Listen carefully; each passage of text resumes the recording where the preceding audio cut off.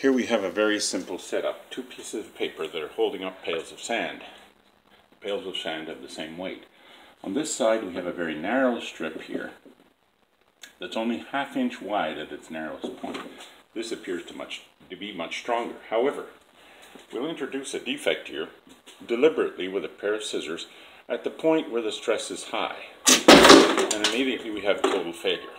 What happened was all the weight of the sand was concentrated at the very tip of the crack and produced a tear that raced across the paper for total failure.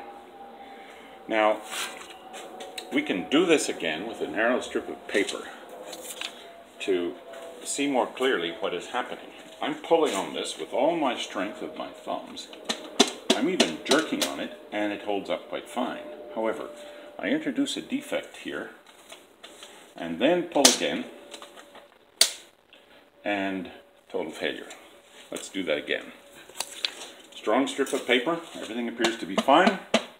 Pulling and jerking, introduce a small defect in the top of the paper, pull again, and total failure. Now in 1945, a pressurized airplane was flying in midair and exploded and 35 people were killed. Nine years later, in 1954, an airplane of the same company exploded in midair and 21 people died. Now, after the second explosion, the airplane was, the, the fleet was very carefully examined and they found that uh, around the antenna there was a small stress concentration that began and ripped through the whole plane. Let's um, look at another setup here. I have here a piece of wood that is cross grain. Now this wood is cut across the trunk of the tree, not the long way, the short way, and it's supported on two uh, pieces of wood here. And I'm going to apply pressure with this clamp. This is part of God's creation here, wood. But the fibers here are going up and down instead of across. And this wood will break with very little warning. Let's apply some pressure here and see what happens. It has bent a little bit. Let's keep going. Total failure. The fiber lines are going across here. In this case, they're going up and down. The fiber lines are going up and down.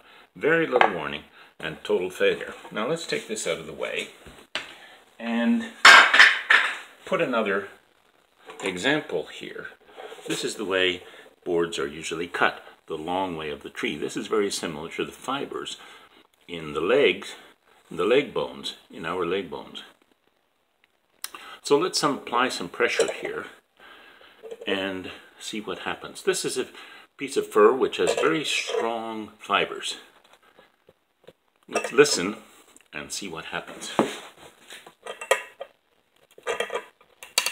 There was a little warning, a little bit more.